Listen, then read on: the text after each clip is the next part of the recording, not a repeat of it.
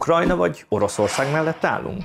Amilyen szankcióban az uniós országok egyetértenek, azt mi támogatni fogjuk. Minden ezzel ellentétes hír az dezinformáció.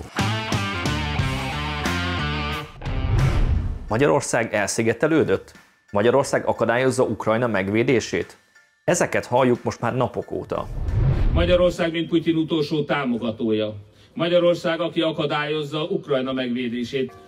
Sajnos azt látjuk, hogy ennél a háborúnál óriási a tét. Hogy most Magyarország teljes nemzetközi elszigeteltségben van. De mi ebből az igazság? Nézzük meg, hogy mi történt a múlt heti EU csúcson. Kezdjük mindjárt a belga kormányfő megszólalásával. If we take sanctions, the impact of those sanctions should be a majority on the Russian side and not on our side. Ismerős ez a gondolat. Ne legyenek olyan szankciók sem, aminek eredményeképpen aztán a végén, ha ki is maradtunk a háborúból, de az árát azt velünk fizettetik meg. De hasonló véleményem van a görög miniszterelnök is. I think we need to be very careful in terms of making sure that whatever measures we implement uh, end up not being more painful for European citizens than for, uh, than for Russia. Ami a szankciókat illeti, érdemes megfogadni a belga miniszterelnök szavait. I mean, we're not waging a war on ourselves. Vannak, akik újabb azonnali szankciókat sürgetnek. Kérdés persze, hogy ez-e a legjobb pillanat. Hallgassuk meg erről a luxemburgi miniszterelnököt. We need to have, uh, if we want to have new sanctions, we need to have them as a reaction to something. For the moment, the situation is not getting better.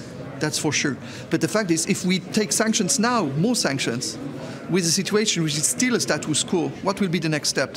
A legújabb szankciós javaslatok szerint azonnal le kellene állítani az orosz kőolaj és földgáz importot. Erről az EU csúcs előtt a német kancellár is megosztotta gondolatait. Wir werden diese Abhängigkeit beenden, so schnell wie das nur irgend geht. Das aber von einem Tag auf den anderen zu tun, hieße, unser Land und ganz Europa in eine Rezession zu stürzen. Ez a gondolat is ismerős. A szankciók további kiterjesztése az energiaszektorra, az olaj és a gázszektorra aránytalanul nagy terhet jelentene Magyarország számára.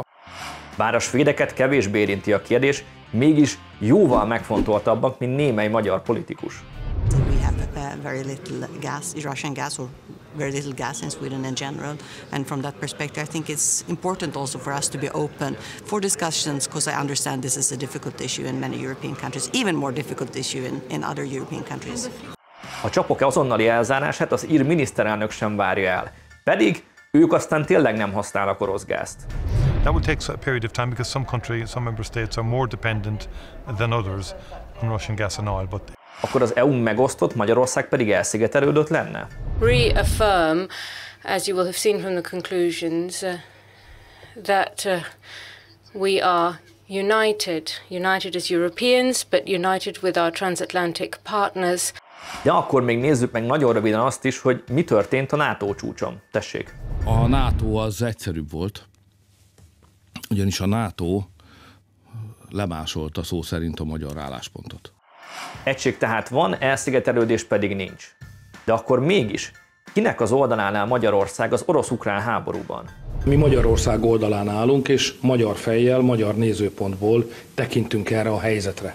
Ha tetszett a videónk, iratkozzanak fel a csatornánkra, és kövessék a Mandilert minden lehetséges fórumon. Folytatjuk!